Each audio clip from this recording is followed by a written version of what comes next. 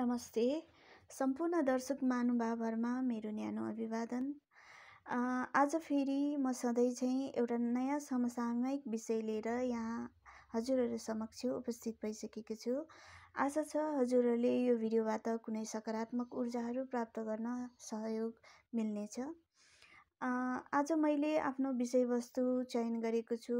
आजभोलि देख्नमा आएका विभिन्न सम्बन्ध विच्छेदको र यसका कारण यस र यसको निवारण के हुनसक्छ भन्ने विषयमा मैले आज भिडियो बनाएकी हुँ। आजभोलि धेरै नै देख्नमा आएका छन् कि विवाह लगत्तै नै अथवा चाहिँ विवाहको केही समय पश्चात अथवा पच्चिसौँ वर्षपछि तिसौँ वर्षपछि चालिसौँ वर्षपछि पनि सम्बन्ध विच्छेद भइरहेका कुराहरू आजभोलि धेरै नै सुन्नमा आइरहेका छन्। यसको कारण के हो त? यस विषयमा चाहिँ म यहाँ केही कुराहरू बताउन चाहन्छु। एउटा दाम्पत्य जीवन भनेको कस्तो हुनुपर्छ भने एउटा रथका भनिन्छ नि एउटा रथका दुई पाङ्राहरू चाहिँ सही ब्यालेन्समा भएन भने चाहिँ त्यो रथ चाहिँ अगाडि बढ्न सक्दैन। त्यस्तै दाम्पत्य जीवनमा पनि एउटा पुरुष र एउटा महिला बिच चाहिँ एकदम समान रूपमा उनीहरू गएनन् अथवा त्यसमा चाहिँ एउटामा मात्र पनि कुनै कमी कमजोरी भयो भने त्यो जीवनको रथ चाहिँ सहज रूपले चाहिँ अगाडि बढ्न सक्दैन। यहाँ चाहिँ दाम्पत्य जीवनमा चाहिँ हुनुपर्ने मुख्य गुणहरूमा चाहिँ अथाह प्रेम हुनु पर्यो। दुई श्रीमान श्रीमती बिच चाहिँ विश्वास हुनु पर्यो एक आपसमा चाहिँ एक किसिमको समर्पणको भाव हुनु पर्यो र अर्को सबैभन्दा प्रमुख कुरा भनेको चाहिँ एक आपसलाई चाहिँ एक किसिमको सम्मान भाव चाहिँ त्यहाँ हुनुपर्दछ। कहिलेकाहीँ के हुन्छ त भन्दाखेरि स्त्रीहरूलाई चाहिँ अलिकति स्त्री यानि कि महिलाहरूलाई चाहिँ अलिकति दबाउने अथवा उनीहरूलाई अलिकति कमजोर ठान्ने चलन प्रचलन पनि हुन सक्छन्। जसले गर्दा पनि श्रीमान श्रीमती बिच चाहिँ एक किसिमको दूरी बन्न जान्छ। यस्तो नगरिकन दुवैजनाले एक आपसलाई सम्मान गर्ने हो भने दुवैजनाले एक आपसलाई बुझ्ने हो भने चाहिँ यस्तो परिस्थिति चाहिँ कहिले पनि आउन आउँदैन।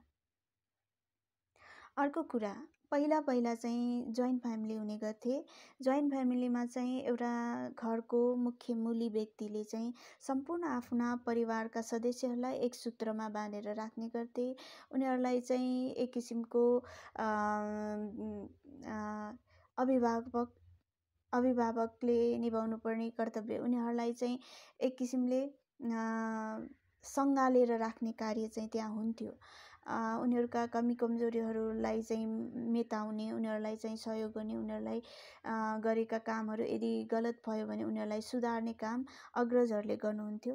तर आजभोलि चाहिँ सिङ्गल फ्यामिली बस्ने चलन भएको कारणले यस्तो अभिभावकत्वको गुण अथवा चाहिँ त्यो सहारा चाहिँ हामीबाट छुटिएर गएको छ जसले का जसको कारणले पनि हामीलाई सही गलत चाहिँ छुट्याउन अथवा चाहिँ सही बाटोमा हिँड्न चाहिँ एउटा दिशानिर्देशको कमी त्यहाँ हुन गयो। त्यही कारणले पनि यस्ता समस्याहरू धेरै आएको मलाई लाग्छ। अर्को कुरा अर्को के हो भनेदेखि श्रीमान श्रीमती बिच जब चाहिँ त्यहाँ विश्वास रहन्न तब त्यहाँ चाहिँ एउटा शङ्काको स्थिति आउन सक्छ। जस्तै कि श्रीमान कतै बाहिर जाँदा अथवा चाहिँ कुनै उसको चाहिँ स्त्री साथीहरू चाहिँ रहँदा त्यहाँ श्रीमतीले शङ्का उपशङ्का गर्ने अथवा श्रीमतीको कोही केटा साथीहरू हुँदाखेरि त्यहाँ श्रीमानले शङ्का उपशङ्का गर्ने। यस्ता मानसिक स्थितिहरूको कारणले पनि यो दाम्पत्य जीवन चाहिँ बिथोलिन पुग्छ। हामीले चाहिँ एक आपसमा पुरा विश्वास हुनुपर्छ भनेको कारणै यही हो। यदि विश्वास छ भने त्यहाँनिर यस्तो शङ्खाको कुरै हुँदैन।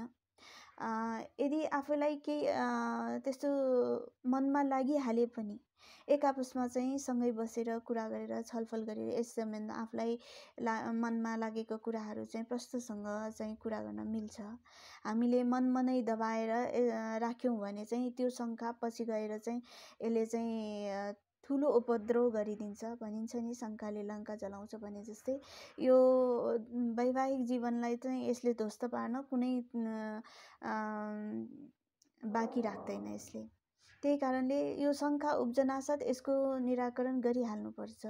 हामीले चाहिँ कुरा गरेर अथवा चाहिँ सरसल्लाह गरेर अथवा चाहिँ आफ्नो मनको कुराहरू व्यक्त गरेर पनि यो गर्न सकिन्छ। अर्को कुरा एउटा मलाई लागेको कुरा के छ भन्दाखेरि स्त्रीहरूको स्वभाव अलिकति भावनात्मक खालको हुन्छ उनीहरू संवेदनशील हुन्छन् भने पुरुषहरू चाहिँ अलिकति लजिक लगाउने खालका जे कुरामा पनि अलि लजिकल्ली सोच्ने खालका हुन्छन्।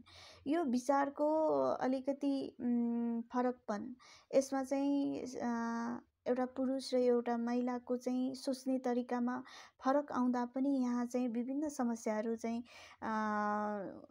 पर्न सक्छ। श्रीमान हुनेहरूलाई चाहिँ अलिकति जे कुरामा पनि अलिकति थोरै इगोको फिलिङ पनि हुनसक्छ र अर्को चाहिँ उनीहरू चाहिँ धेरै कुरामा लजिक नै लगाउँछ। उनीहरू चाहिँ संवेदनशील स्त्रीहरूको तुलनामा तुलनामा चाहिँ धेरै कम हुन्छ। त्यही कारणले स्त्रीहरूको मनको कुरा बुझ्न चाहिँ उनीहरूलाई अलिकति गाह्रो पर्न सक्छ र यसमा चाहिँ मतभिन्नता हुँदाखेरि अथवा चाहिँ उनीहरूले एक आपसको कुरा नबुझ्दाखेरि चाहिँ यहाँ चाहिँ ठुलो समस्या आइपर्न सक्छ। यस्तो बेलामा चाहिँ हामीले चाहिँ चाहे श्रीमानले होस् चाहे श्रीमतीले होस् श्रीमानको तर्फबाट पनि सोच्ने चाहिँ उसमा चाहिँ कला हुनुपर्छ। श्रीमतीको तर्फबाट पनि उसले कस्तो किसिमले सोचेको होला भनेर चाहिँ बुझ्न सक्ने चाहिँ उसमा क्षमता हुनुपर्छ यसो भयो भने चाहिँ यो समस्या चाहिँ त्यति रहँदैन। अर्को अर्को भनेको चाहिँ एउटा कस्तो हुन्छ भने जस्तै कि मानिलिउँ कि श्रीमान वा श्रीमती बिच चाहिँ कुनै सानो कुरा सानो सानो कुरामा पनि झगडा भइराख्यो। घरमा चाहिँ एउटा चाहिँ शान्तको वातावरण रहेन भने चाहिँ त्यो घरमा चाहिँ उनीहरूलाई चाहिँ बस्न गाह्रो हुन्छ। उनीहरू चाहिँ बाहिरतिर आकर्षित हुन्छन्। यसले गर्दाखेरि चाहिँ बाहिरी व्यक्तिहरूसँग सम्बन्ध बढ्न जान्छ जसले गर्दा पछि गएर चाहिँ सम्बन्ध विच्छेदको स्थिति आइपर्न सक्छ। त्यही कारणले घरमा सानोतिनो समस्या हुनासाथ त्यसलाई सुल्झाइहाल्नुपर्छ। श्रीमान श्रीमतीको झगडा परालको आगो भन्ने त हामीले सुनेकै छौँ। त्यही कारणले यो अरू सम्बन्ध जस्तो होइन यसमा। यसमा चाहिँ सानो सम्बन्ध केही बिग्रिन साथै नै सानो केही समस्या देखिन साथै यसलाई तुरुन्त सुल्झाइहाल्नुपर्छ होइन भने यसले ठुलो रूप लिन सक्छ। यदि यस्तो स्थितिमा जब कि एउटा श्रीमान अथवा श्रीमती चाहिँ बाहिर परपुरुष वा पर स्त्रीहरूसँग चाहिँ सम्बन्ध बढिरहेको अवस्थामा यसलाई चाहिँ हामीले अलिकति क्रोध गरेर अथवा रिसाएर अथवा झगडा गरेर यस्तो अवस्थालाई चाहिँ हामीले नियन्त्रणमा राख्न सक्दैनौँ। यसमा हामीले के बुझ्नु पर्दछ भन्दाखेरि जस्तै हाम्रो शरीरमा कुनै रोग लाग्छ। हाम्रो शरीरमा कुनै रोग लाग्यो भने हामीले के गर्छौँ त? त्यसको उपचार गर्छौँ त्यसको औषधि मुलो गर्छौँ त्यसमा चाहिँ के गर्न त्यसको चाहिँ सरसफाइ अथवा त्यसमा चाहिँ के गर्न मिल्छ? त्यो घाउलाई निको पार्न हामीले यथा प्रयत्न गरिरहेका हुन्छौँ। तर कहिलेकाहीँ के हुन्छ भन्दाखेरि एउटा मानसिक स्थिति पनि त एउटा रोगै हो नि। जस्तै घरमा चाहिँ ऊ बस्न नचाहनु घरबाट चाहिँ ऊ बाहिर जान खोज्नु यो पनि एउटा किसिमले उसको मानसिक रोग त हो। मतलब उसले घरमा बस्न नचाहनु भनेकै उसलाई चाहिँ एक किसिमको सोचमा उसको चाहिँ सोच सकारात्मक नहुनु अथवा उसको मनमा चाहिँ द्वन्द्व चलिरहनु उसलाई चाहिँ एक ठाउँमा बस्न मन नपराउनु उसको मानसिक स्थितिको कमजोरी त हो यो। यसलाई हामीले रोगको रूपमा लिनुपर्छ यसलाई हामीले झगडा गरेर चाहिँ यो निवारण गर्न सकिँदैन। यसलाई चाहिँ जसरी हामी चाहिँ आफ्नो परिवारको कोही सदस्य रोगी भयो भने उसलाई बढी स्याहार सुसार गर्छौँ बढी माया दिन्छौँ बढी उसको चाहिँ हेरचाह गर्छौँ। त्यो त्यो भने जस्तै जो व्यक्ति चाहिँ घरबाट बाहिर परस्त्र परस्त्री अथवा परपुरुषसँग लागेका हुन्छन् यस्ता व्यक्तिलाई त अझ हामीले अझ बढी माया दिएर उसलाई चाहिँ आफूमा चाहिँ आफूसँग चाहिँ अलिकति नजिकै आउने चाहिँ कोसिस हामीले गरिरहनु पर्दछ। यदि हामीले चाहिँ शङ्का गरेर उसलाई चाहिँ विभिन्न कुराहरू सुनाएर खोजपेच गरेर उसलाई चाहिँ उसको हरेक कुरामा चाहिँ हामीले चाहिँ औँला ठड्याएर यसरी झगडा गर्न थाल्यौँ भने यो सम्बन्ध हाम्रो सम्बन्धको अन्त्यै हुन्छ। त्यही भएर यसरी यस्तो गर्ने होइन कि त्यो व्यक्तिलाई त अझ बढी माया दिएर उसको के कारणले ऊ चाहिँ बाहिर आकर्षित भएको हो। उसले बाहिर आकर्षित हुनुमा कतै आफ्नै पो केही कमजोरी छ कि?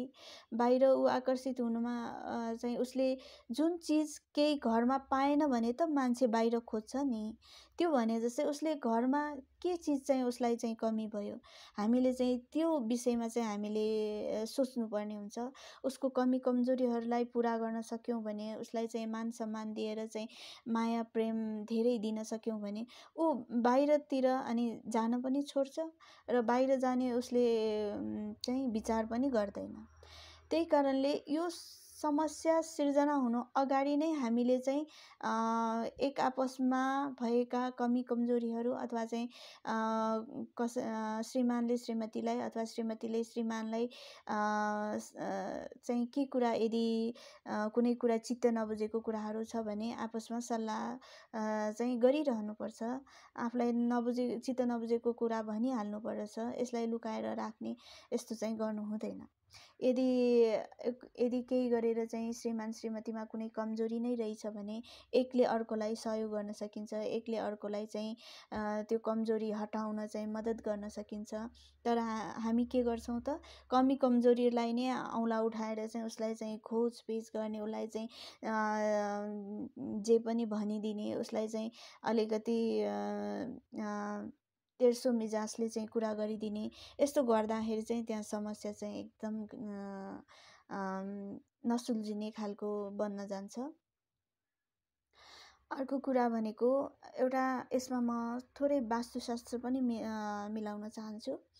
घरमा चाहिँ यदि सरसफाइमा कमी अथवा चाहिँ घरमा चाहिँ टुटेफुटेका वस्तुहरू धेरै रह्यो अथवा चाहिँ त्यहाँ चाहिँ घरको चाहिँ घर व्यवस्थित भएन उथल उथलपुथल छ घरमा चाहिँ कुनै चिज पनि कुनै वस्तुहरू पनि ठाउँमा छैनन् एकदम यताउता छरिएर वस्तुहरू रहेको हुन्छ। जताततै फोहोर घरको चाहिँ स्थिति गलत छ भने पनि त्यहाँ चाहिँ एक किसिमले नकारात्मकले चाहिँ त्यहाँ जडो गाड्छ नकारात्मक ऊर्जा चाहिँ त्यहाँ बस्न जान्छ जसले गर्दाखेरि चाहिँ परिवारका सदस्यहरू बिच चाहिँ मनमुटाव हुने अथवा चाहिँ घरमा चाहिँ अलि झैझगडा परिरहने यस्तो हुनसक्छ त्यही कारणले हामीले वास्तुलाई पनि अलिकति हामीले विचार गर्नुपर्ने हुन्छ। घरमा चाहिँ सधैँ सरसफाइमा ध्यान दिने सबै चिजहरू चाहिँ व्यवस्थित राख्ने घरका बेडरुमहरू भए अथवा चाहिँ किचनहरू भए जहाँ बस्दा पनि मन आनन्द होस् त्यस्तो वातावरण चाहिँ बन्नुपर्छ ताकि चाहिँ कोही व्यक्ति चाहिँ घरभन्दा बाहिर आकर्षित नहोस्। यो पनि एउटा चाहिँ कारण हुनसक्छ। यो पनि एउटा चाहिँ निवारणको उपाय हुनसक्छ। अर्को भनेको चाहिँ हामी चाहिँ श्रीमान होस् या श्रीमती होस् हामी चाहिँ अरूको कुरालाई चाहिँ बढी ध्यानमा दिन्छौँ। आफ्नो श्रीमान अथवा श्रीमतीको चाहिँ गुणलाई चाहिँ भन्दा पनि अरूहरूको गुणहरूलाई चाहिँ बढी प्राथमिकता दिइरहेका हुन्छौँ। जसले गर्दाखेरि चाहिँ त्यहाँ तुलनाको काम हुन्छ। फलानाको श्रीमान यति धेरै रा राम्रो गर्छ राम्रो काम गर्छ धेरै कमाउँछ। यस्तो भनेर चाहिँ आफ्नो श्रीमान चाहिँ यस्तो कमाउँदैन। यस्तो भनेर चाहिँ जुन तुलना गर्छ नि जस्तै फलानाको श्रीमती यति राम्री छे यति चाहिँ सुशील छे यति चाहिँ घरलाई एकदम हेर्न सक्ने उसमा चाहिँ क्षमता छ तर मेरो श्रीमतीमा छैन भन्ने जस्तो खालका यस्ता तुलनात्मक कुराहरू जे जति पनि हुन्छ यो पनि एउटा चाहिँ सम्बन्ध विच्छेदको कारण हुनसक्छ। त्यही भएर यसरी तुलना गर्नुभन्दा बरु कुन चिज चाहिँ त्यहाँ कमी कमजोरी भएको त्यसलाई सच्याउन के कस्ता कदमहरू चाल्न सकिन्छ भन्ने विषयमा चाहिँ हामीले अलिकति त्यस विषयमा चाहिँ त्यसतिर ध्यान गयो भने सायद चाहिँ यो समस्या सुल्झिन जान्छ। यसरी चाहिँ तुलना मात्रै गरेर त समस्या सुल्झिने त होइन। यसमा चाहिँ एक आपसमा चाहिँ सद्भावना एक आपसमा चाहिँ सहयोग चाहिँ हुनु जरुरी छ।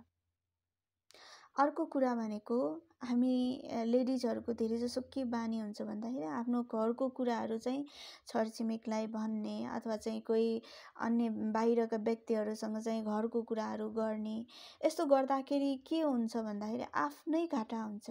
किन? किन त भन्दा बाहिरको व्यक्तिहरूले नराम्रो कुराहरू बढी सुन्न मन पराउँछन् राम्रो कुरा भन्दा पनि।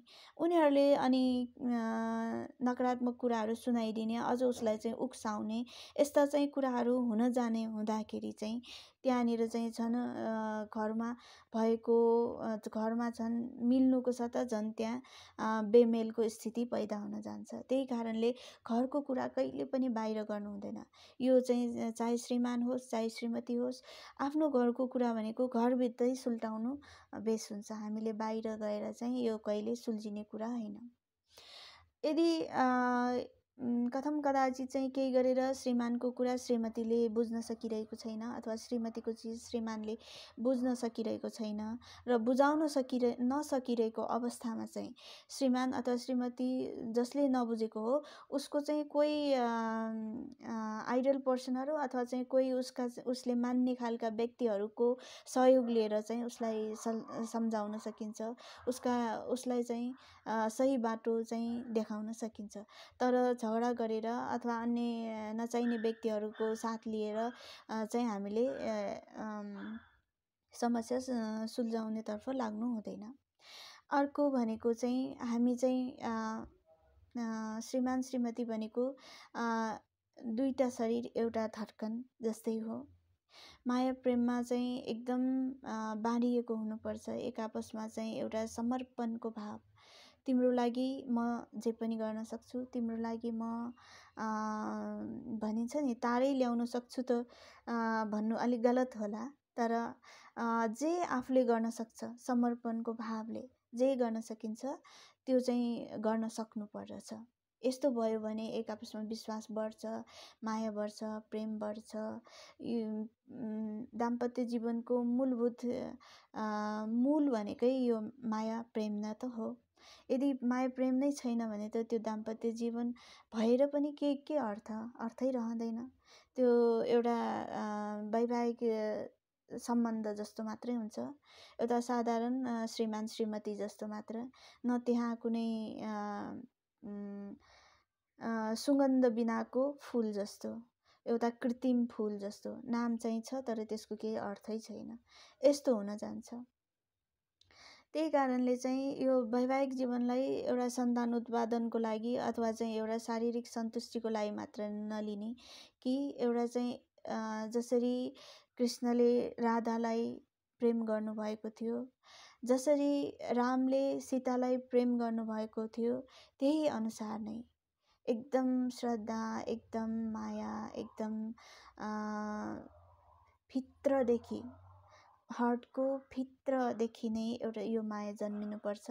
देखावटी माया हुनु हुँदैन यिनै कुराहरू चाहिँ भयो भने चाहिँ अनि मात्रै एउटा दाम्पत्य जीवन चाहिँ एउटा एकदम सफल दाम्पत्य जीवन बन्न सक्छ जस्तो मलाई लाग्छ। हजुरहरूलाई यो मेरो भनाइ यो मेरो कुराहरू कस्तो लाग्यो? यदि राम्रो लाग्यो अथवा चाहिँ यसमा कुनै मैले गलत भने भने कृपया मलाई कमेन्टमा चाहिँ कमेन्ट गरेर यसको चाहिँ कुराहरू आफ्नो चाहिँ प्रतिक्रियाहरू दिन चाहिँ नभुल्नुहोला। र यदि तपाईँलाई यो भिडियो मन पर्छ पर्यो भने चाहिँ कृपया लाइक सेयर एन्ड कमेन्ट गरिदिनुहोला र साथै यो च्यानललाई चाहिँ सब्सक्राइब पनि गरिदिनु होला है। यति भन्दै म आजको यो भिडियो यहीँ टुङ्ग्याउन चाहन्छु। हजुरहरूलाई आउँदै गरेको दीपावलीको उपलक्ष्यमा हार्दिक मङ्गलमय शुभकामना दिन चाहन्छु। माता लक्ष्मीले सबैको घरमा बास गरून् सबैलाई समुन्नति दिउन् यही म कामना गर्दछु। धन्यवाद।